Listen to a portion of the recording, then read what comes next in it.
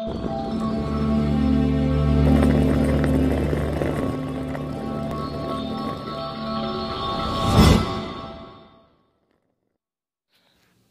मित्रांनो मी पुन्हा एकदा आपल्या यूट्यूब चॅनलवरती तुम तुमचं सर्वांचं स्वागत करतो आहे मित्रांनो आपण आज या व्हिडिओच्या माध्यमातून पाहणार आहात की पी एम किसान सन्मान निधीचा हप्ता घरी बसल्या आपल्या मोबाईलवरून कशा पद्धतीने चेक करायचा?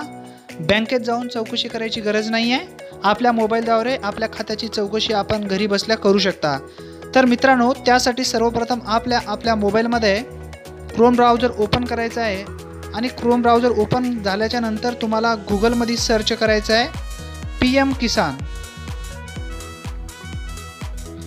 P M Kisan म्हणून सर्च केल्याच्यानंतर तुम्हाला पी एम किसानची ऑफिशियल साईट या ठिकाणी येईल. आणि त्या पहिल्या साईडला तुम्हाला क्लिक करायचं आहे.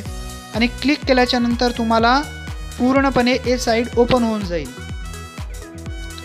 साईड ओपन झाल्याच्यानंतर या ठिकाणी बघा पी एम किसान सन्मान निधी म्हणून असं दर्शवलेलं आहे. तुम्हाला खाली स्क्रोल करायचं आहे. खाली आल्याच्यानंतर तुम्हाला अनेक पद्धतीचे शिंबॉल या ठिकाणी दिसतील.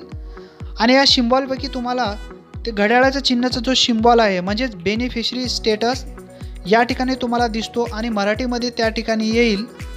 लाभार्थी स्थिती. तुम्हाला त्याला क्लिक करून घ्यायचं आहे घड्याळाच्या चिन्हाला.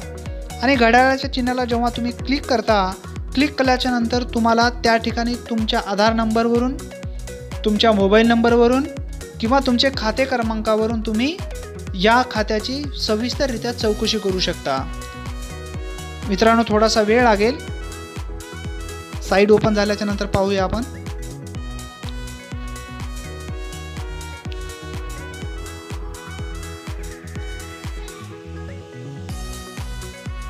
ही पहा साईड ओपन झालेली आहे.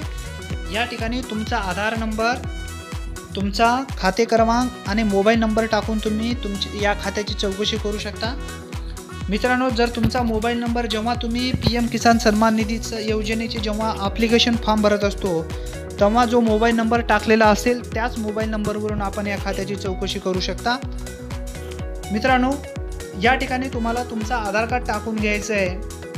आधार कार्ड नंबर या ठिकाणी जो तुमचा बारा अंकी डिजिट आहे तो या ठिकाणी टाकून घ्यायचा आहे.